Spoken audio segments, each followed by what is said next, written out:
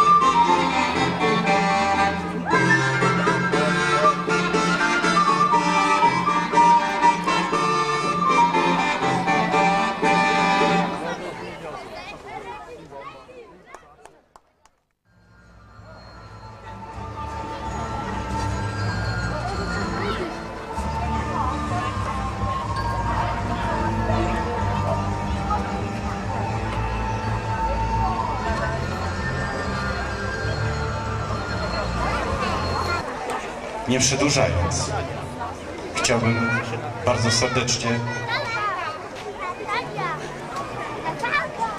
zaprosić do nas zespół Kodle.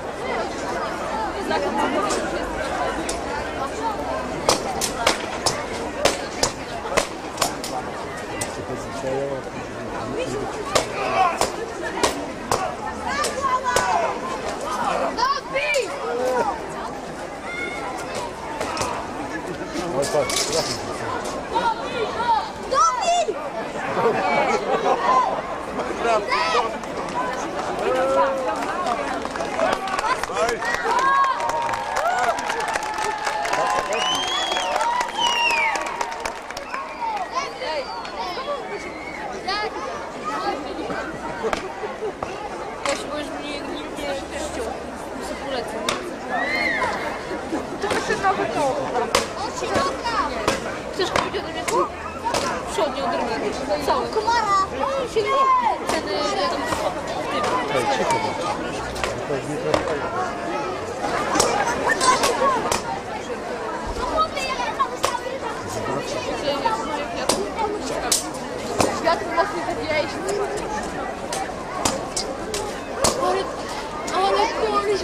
w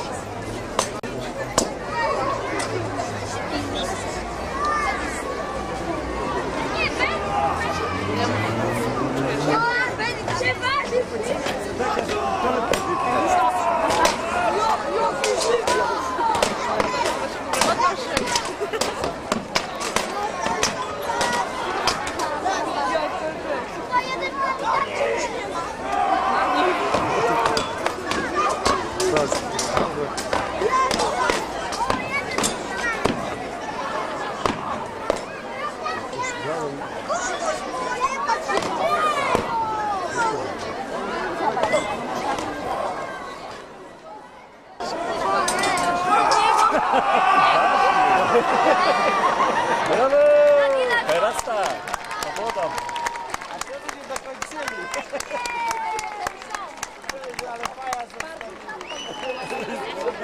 Co?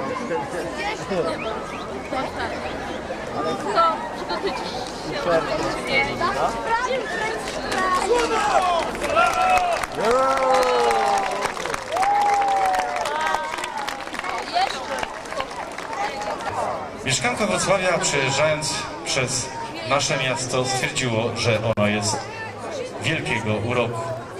Stąd też, chwaląc nasze miasto, właśnie przysłała dla Państwa ten oto wiersz. Ja z góry chciałbym przeprosić, ale niestety nie dociera to jej zbyt dobre światło, dlatego też za wszelkie pomyłki bardzo proszę o wybaczenie. Do światła. Wiersz nosi tytuł Oda do wieży. Szanowni ludzie, czy wy wiecie, że krzywe wieże są na świecie? Zwyczajnie krzywo sobie stoją, żadnych przechyłów się nie boją. Doprawdy spytasz, czy to czary? Jakie są wieży tych zamiary? Dlaczego stoją, stoją krzywo? Zapewne wielkie to jest dziwo. Zjawisko wprawdzie jest nie nowe. Zadziwić ludzi znów gotowe. Bo jak to w życiu jest możliwe, by to, co proste, było krzywe? Jak równowagę zachowuje, przez wielki stoi, wieki stoi, nie rujnuje. Czy w Pizie, czy też w Ząbkowicach, każdego urok, wiesz, zachwyca. I intryguje, bo któż zgadnie, dlaczego wieża nie upadnie. Myślimy przecież, nie bez racji. To sprzeczne z prawem grawitacji. Tysiące pytań znów mam w głowie. Może ktoś z Państwa mi odpowie? Bo pewnie mnie już nie zdziwi, gdy nowa wieża się przekrzywi. Maria Zielińska, Wrocław, 25 maja. Być może Pani Maria jest wśród nas, dlatego też nagrodźmy ją oklaskami, chociażby za ten piękny, wspaniały wiersz skierowany, jakby nie było, do Państwa. Za chwileczkę przedstawienie pantomiczne pod tytułem Frankenstein, diabelski łowca. Bardzo króciutko tylko o twórcach tego wydarzenia. Autorem jest pan Jerzy Organiściak. Reżyserem pan Janusz Dawidowicz. Scenografię, którą Państwo widzicie, przygotował pan Krzysztof Andrzejewski. Muzyka pan Jeromino Sodal ze Szwajcarii oraz Remigius, Remigius Czcionka, mam dopisek z Ząbkowic. Już w tej chwili Frankenstein, diabelski łowca. Tak, no i co?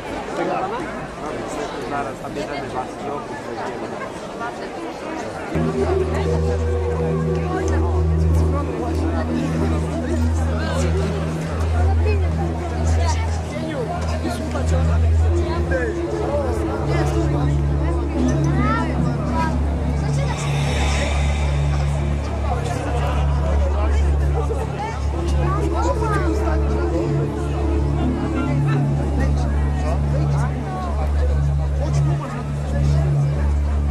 panowie, bądźcie tam cicho.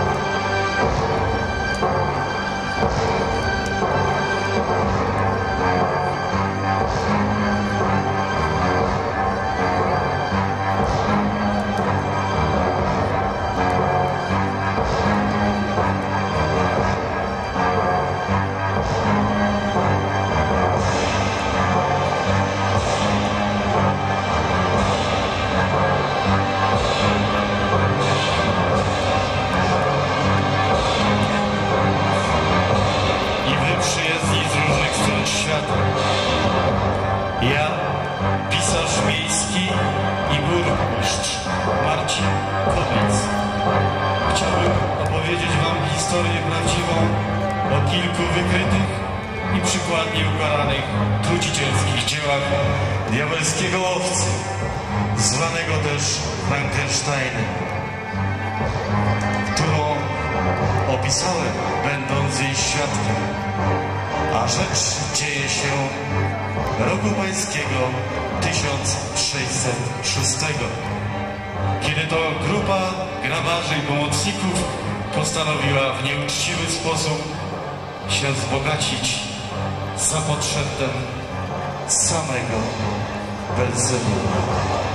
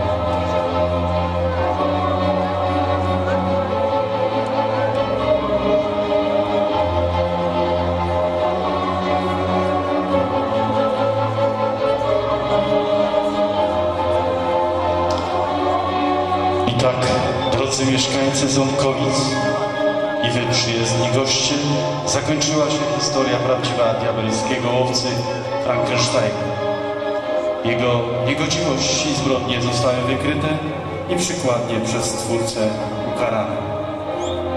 Wnet pojawił się w jego imieniu Prometeusz, Bóg miłości i dobroci do ludzi.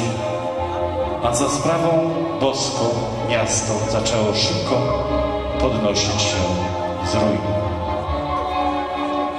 Jak w każdej historii, tak i w tej wynika morał. Każde monstrum znajdzie swego pogromcę.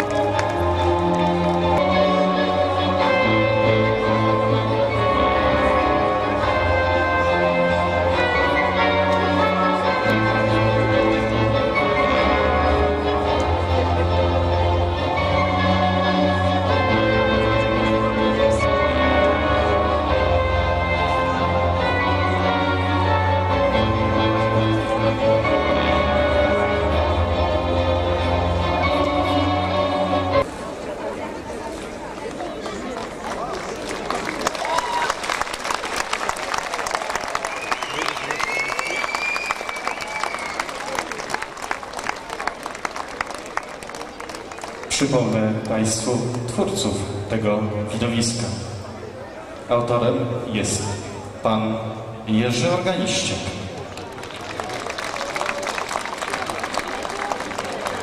Reżyserem pan Janusz Dawidowicz. Scenografem pan Krzysztof Andrzejewski. Muzyka Żeromim Sudal i Remigiusz Czcionka. I proszę Państwa, przed nami w tej chwili główny moment dzisiejszego, dzisiejszej odsłony drugiego dnia trzeciego weekendu z Frankensteinem.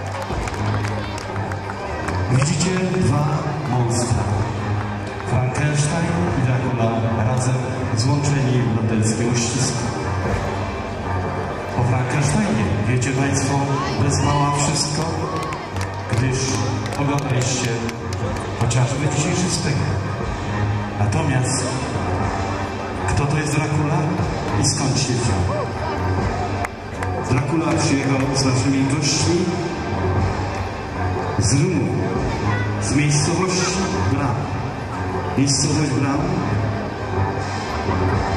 jest miejscowością, w której powieściopisarz Bram Stoker umieścił akcję Drakuli. A ponieważ panowie doszło do tego wiekopomnego zdarzenia, zapraszamy szanownych panów Frankensteina i Drakulę do podpisania porozumienia będącego waszym zobowiązaniem i stwierdzeniem, że jesteście wyłącznie wytworami ludzkiej fantazji. I od tej chwili będziecie ludzi bawić, nie przerażać, nie straszyć.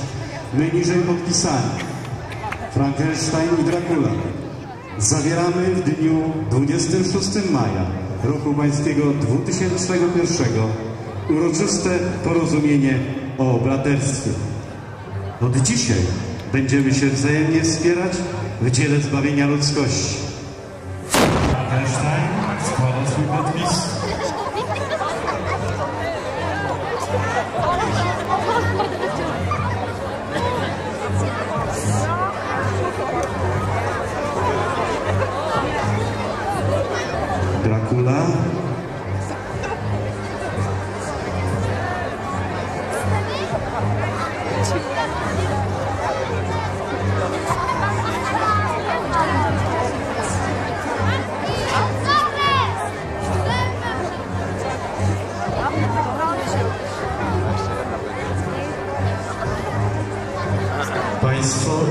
Jesteście tego wszystkiego świadkami.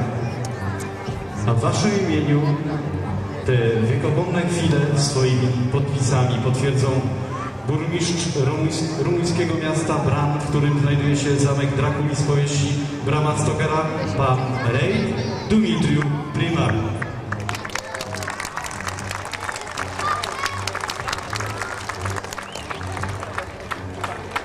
oraz burmistrz naszego miasta, miasta, które było świadkiem wydarzeń 1606 roku i narodzenia się historii diabelskiego łowcy Frankensteina, pan Józef Marcinków.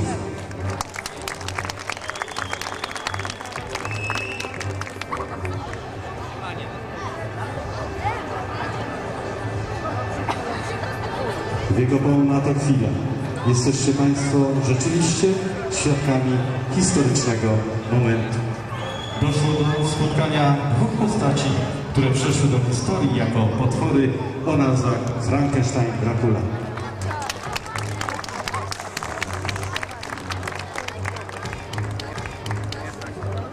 Szanowni Państwo, w historycznym momencie, jedynym w sobie, kiedy to sympatyczni potwór Frankenstein, jak również sympatyczny Dracula złożyli swoje podpisy pod paktem, pod paktem o nieagresji.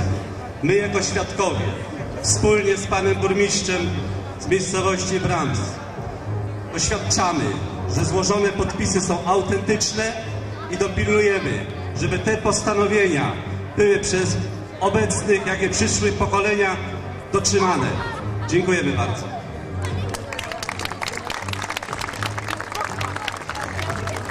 Proszę Państwa, w tym momencie najwyższa pora, aby zaproponował wszystkim z Państwu zrobienie pamiątkowego zdjęcia. Panowie fotoreporterzy, panowie z kamerami, wszyscy ci, którzy chcecie uwiecznić w swoich annałach te postacie, tą wiekopomną, zaznaczam chwilę, macie na to 15 sekund.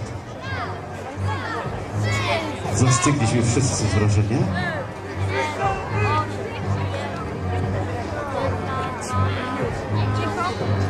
Stimați spe- spectatori, uh, uh, mă, nu- mă numesc Dumitru Reit, primar uh, al comunii turistice Bran Brașov, România. Dumitru Rei, tu ești burmiș z Rumunii, z miejscowości Stan. În această seară, cele două mituri, Frankenstein și Dracula, au dat mâna împreună. Dzisiejszy wieczór to był bardzo nie, niewidoczny, niespotkany taki wieczór, który podał ręce sobie Dracula i z Frankensteinem. Vă mulțumim și vă dorim în continuare petrecere frumoasă. Bardzo Wam dziękujemy i do, do, do, zabawy dalej.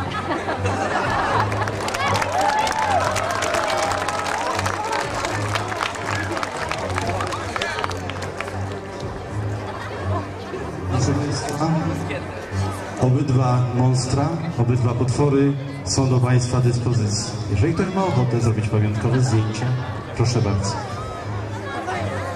Nie pozostaje mi również nic innego, jak wygłosić te oto sakramentalne słowa.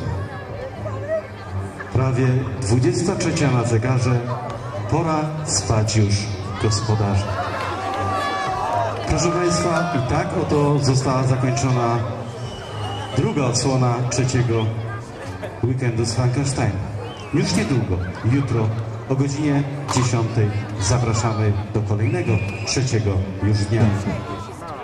Godzina 11, kawiarnia Ząbkowieckiego Ośrodka Kultury.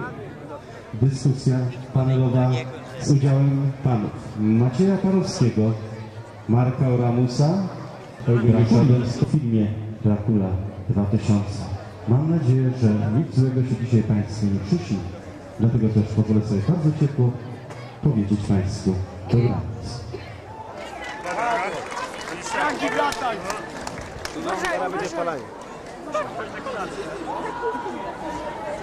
Ciągnij dupy, dupy.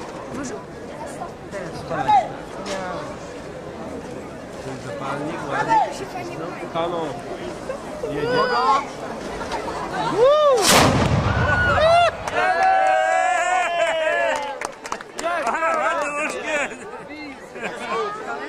아, 네.